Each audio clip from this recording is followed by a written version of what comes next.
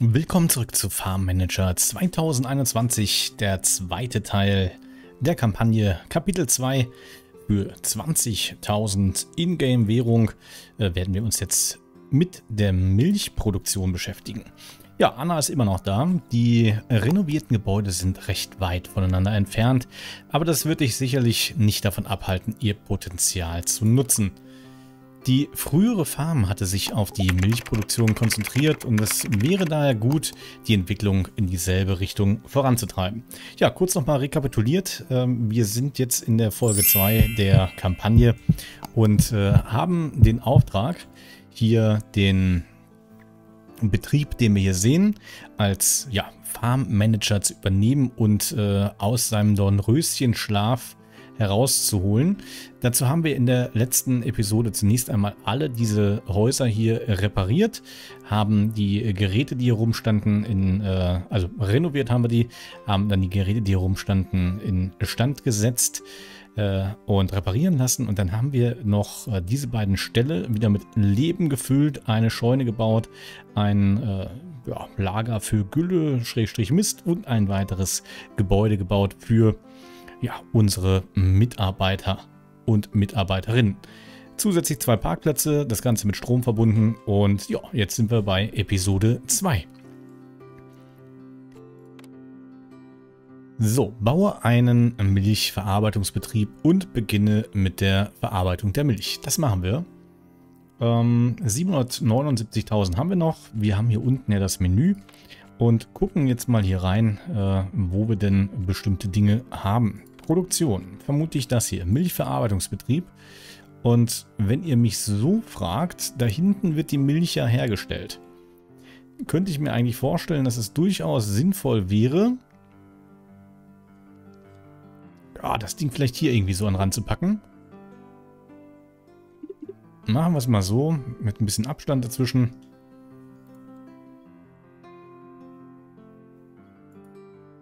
Ja, das sieht doch gut aus.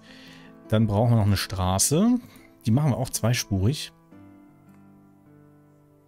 Zumindest erstmal die Richtung grob. Dann nehmen wir uns jetzt noch den gefestigten... Ach nee, machen wir auch zweispurig. Guck mal. Ah, brauchen wir gar nicht. Ist schon angeschlossen dann, wenn es soweit ist. Oder wie sehe ich das? Ja, keine Ahnung. Wir werden es sehen. Vielleicht müssen wir die Straße sonst nochmal abreißen. Ja, und da bin ich äh, sehr gespannt. Also, wie gesagt, auch schon auf eure Kommentare, was ihr von dem Spiel haltet. Ich habe es ja ähm, vor kurzem jetzt im Sale, Midweek Sale, Mid Midweek Madness heißt es, glaube ich, bei Steam. Ja, lass mich lügen, 8 Euro noch was gekauft. Ähm, ja, hatte da grundsätzlich schon mal ganz gute ganz gute Bewertungen. So, ich lasse das mal ein bisschen schneller wieder durchlaufen. Wir haben ja nicht so viel Zeit. Äh, in dieser äh, Reihe hier beschränke ich mich ja auf 20 Minuten Spielzeit. Deswegen kann es jetzt durchaus ein bisschen schneller gehen. Und wir sehen, es dauert auch ein bisschen, bis das soweit ist. Ich weiß gar nicht, wo sehen wir denn die Uhrzeit? Das ist auf jeden Fall schon der nächste Tag. Also Uhrzeit sehen wir eher nicht.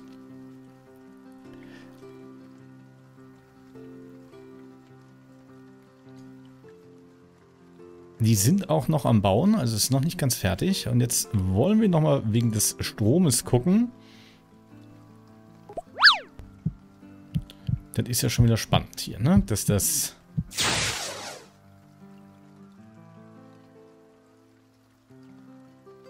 Ja, doch so ungefähr könnte das passen. Bauen wir den Spaß mal dahin und schließen das hier mal an. So. Also 100% erreicht.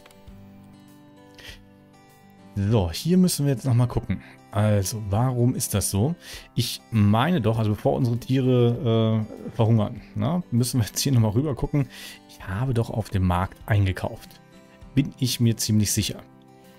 Ähm, aber wir machen das einfach nochmal und gucken jetzt hier nochmal rein. Was ist denn Handel? Ist Handel quasi Tausch? Verkaufen, Fügeforschung. Ne? Was ist denn vorgestellt? Ach da, Gärfutter und Gras. Ja, da können wir ja eigentlich auch ein bisschen mehr von kaufen, ne? Aber wir, wir nehmen den Vorschlag an. So. Keine Straßenverbindung.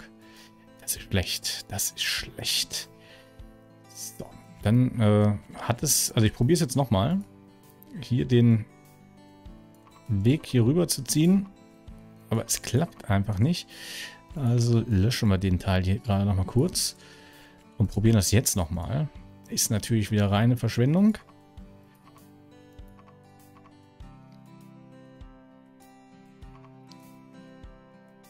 Ja, keine Ahnung, warum das nicht klappt. Vielleicht muss es dann einspurig werden. Aha, einspurig funktioniert. Von mir aus, dann machen wir das halt so.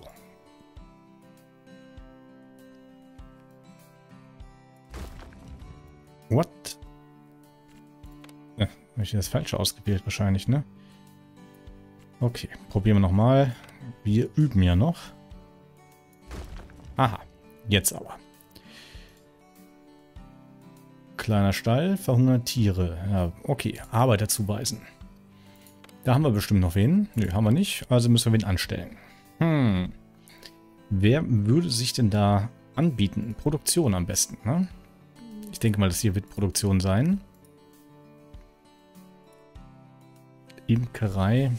Imkerei, nee, das bringt mich nicht weiter. Was ist das? Verarbeitung. Ja, doch, Verarbeitung klingt doch gut. Also, Maschinen, manuell, ne, folgendes sowieso Milchverarbeitungsbetrieb. Ja, das machen wir. Und dazu wählen wir noch das Haus an, äh, aus. Und dann nehmen wir Haus 1. Und Stefanie ist, weiß ich gar nicht, rot. Ich weiß noch nicht, was die Farben hier oben bedeuten. Das könnt ihr mir gerne mal reinschreiben, was die Farben bedeuten. I don't know.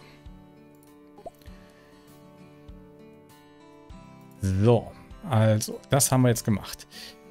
Grundsätzlich würde ich mich jetzt darüber freuen, wenn wir hier noch eine Straße weiterführen würden. Machen wir so. Oh, 1500 schöner weg. So, und dann führen wir die hier weiter und dann äh, können die hier gleich zu Fuß hingehen.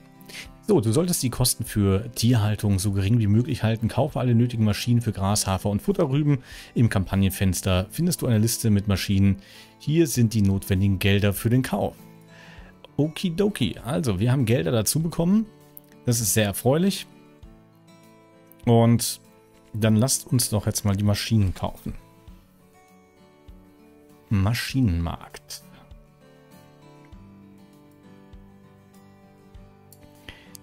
Kaufen, kaufen, kaufen. Fahrzeuge kombiniert. Da sind die Aufgaben. Also kaufe Maschine für äh, Getreide. Also Seemaschine brauchen wir. Die wollen wir schon mal kaufen. Eine Mähmaschine brauchen wir bestimmt auch. So, Seemaschine für Getreide. Das kann sie auch alles, also kaufen wir die jetzt Parkplatz 2. Stellen wir erstmal hier hin.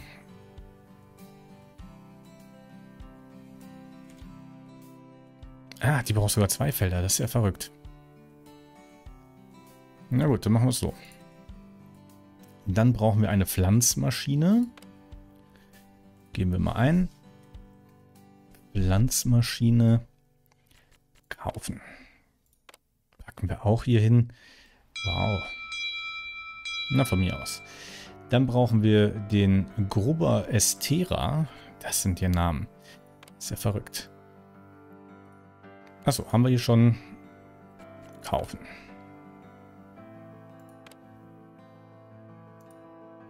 Auch den stellen wir dahin. Ich vermute mal, wir werden auch gleich noch einen weiteren Parkplatz brauchen. Ne? Feldschutz, Anhänger. Ja. Wollen wir erstmal einen Parkplatz bauen? Garage. Noch ein Parkplatz. So. Dann werden wir natürlich die Straße hier noch fortführen. Und sind happy. So, also kaufe Anhänger mit Wasser. Das machen wir auch. Wasser, da. Kaufen. Nee, nee, komm, nehmen wir hier hin. Dann hätten wir noch gerne den Miststreuer.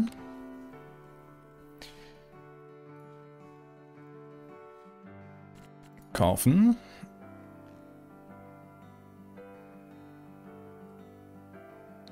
Parkplatz 3, jo. Stellen wir mal hier hin. Dann brauchen wir noch eine Feldspritze. Ich werde verrückt. Das sind natürlich jetzt alles äh, Anschaffungen erstmal, ne? Feldspritze kaufen. Ja, Parkplatz 2. Ja, da bin ich mal gespannt, ob die da noch rankommen, wenn wir das denn einfach so machen. Aber die machen das schon. So, und jetzt brauchen wir noch einen Anhänger.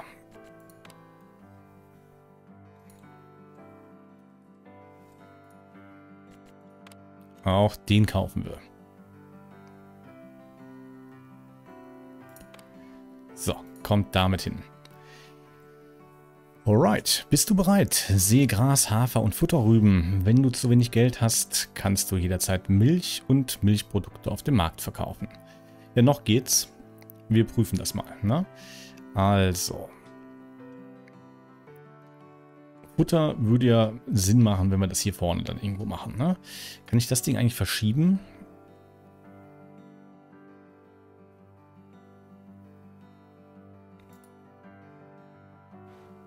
Ja. Ich glaube nicht. Nee, glaube ich, kann ich nicht verschieben. Egal. Wir kriegen das trotzdem hin. Äh, Feld anlegen. Das könnte das hier gewesen sein, ne? War das hier das Symbol für Feld anlegen? Ich hoffe mal. So, gucken wir mal hier rüber. Also 32 mal 32 hatten wir bei dem anderen. Jetzt können wir natürlich auch hier nochmal gucken. Also hier geht ja gleich die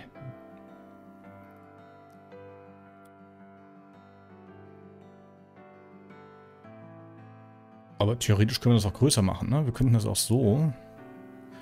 Mit 32 mal 32 sind wir bei 0,1 Hektar. Und hier hätten wir sogar noch ein bisschen mehr. Dann lasst uns das mal so lassen. Lege das Feld an mit Gras. Machen wir. Und dann legen wir noch ein Feld an. Dann nehmen wir hier natürlich einen gefestigten Weg. Eigentlich bräuchten wir den nicht als gefestigten. Ne? Da reicht ja wohl auch der, die Schotterstraße. Wir sind ja hier Farmmanager ne, und wollen nicht zu viel Geld ausgeben. So, Legefeld mit Hafer an. Also wir brauchen noch ein weiteres Feld. Machen wir einfach mal hier auf 115. Das sind ja auch 115 hier, ne? Ja. Dann ist ja gut.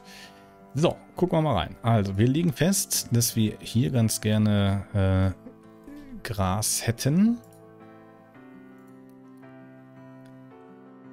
Dann hätten wir hier ganz gerne Hafer. Und hier vorne Futterrüben. Warte, erst klicken, dann tippen.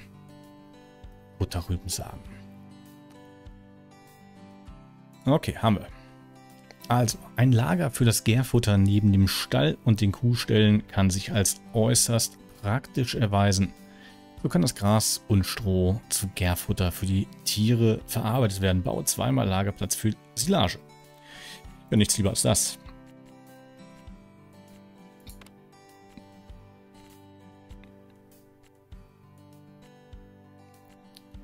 Jetzt ist nur die Frage, wo wir das denn haben. Da schon mal nicht. Gucken wir mal hier durch. So, da haben wir alles. Also hier hätten wir noch einen Brunnen, kleines Silo, mittleres Silo.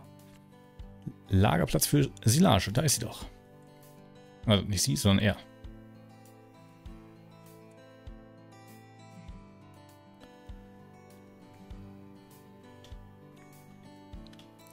So, ich denke, ich werde hier gleich auch noch mal ein bisschen was... Äh, oder wir machen es so. Nee, das passt nicht ganz. So, machen wir so. Eins. Und zwei. Und jetzt müssen wir das Ding hier wahrscheinlich nochmal abreißen. Ja, Lagerplatz vermisst, das ist schön.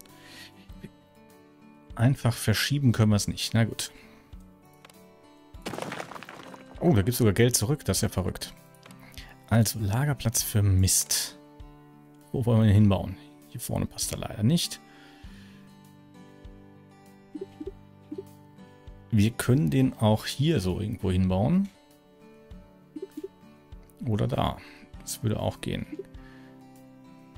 Ja, machen wir doch hier hin. So. Dann bräuchten wir trotzdem noch eine weitere Straße.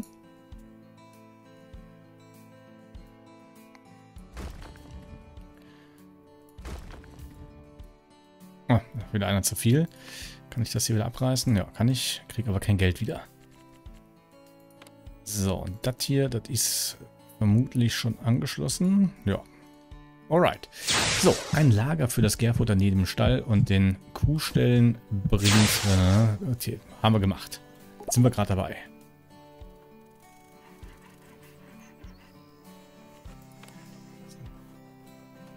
Schon wieder?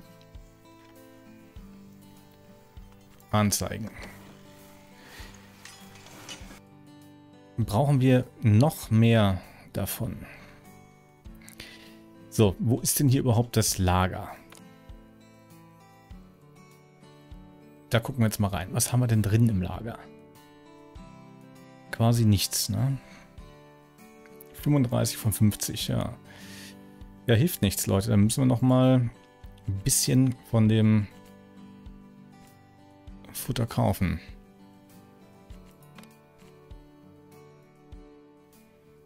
Also, wir kaufen noch mal Gras. Kaufen gleich mal 1000.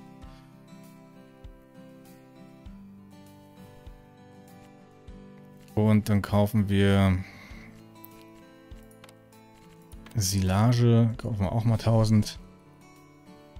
Vielleicht reicht das ja dann erstmal. Gesamtpreis, so, kaufen. So, jetzt hoffe ich, dass das äh, gleich ausreichend sein wird. So, jetzt... Jetzt bleiben wir mal entspannt erstmal, ne? Also, jetzt bleiben wir mal entspannt. Gucken wir mal hier rein. So. Also, errichte ein neues Gebäude. Logistikgebäude. Errichte ein neues Gebäude. Lager. Noch ein Lager. Wir alles bauen müssen. Also, nehmen wir noch ein Lager dazu. Aha, wenn wir das hier hinbauen, dann decken wir ja deutlich mehr ab. Also machen wir das auch so. So, und dann wollen wir noch ein Logistikgebäude. Ist das unter Produktion? Ach, guck mal hier. Bei Produktion ist äh, Silage. Das ist ja ein Ding. Garagen, Garage. Ach, du kannst auch eine richtige Garage bauen. Ne? Okay. Und hier haben wir jetzt das Logistikgebäude.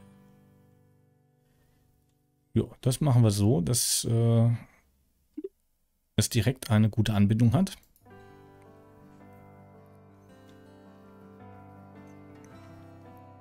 Und schon steht's da.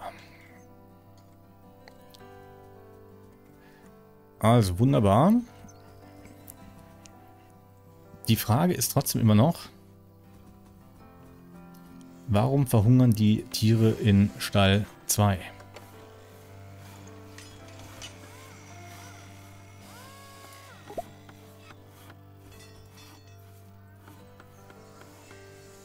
Ja, da haben wir doch eigentlich alles drin.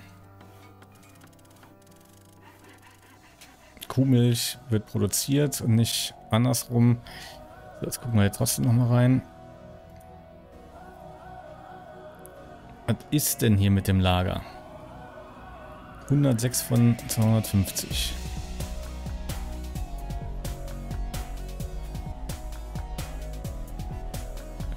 Ja, Leute, I don't know.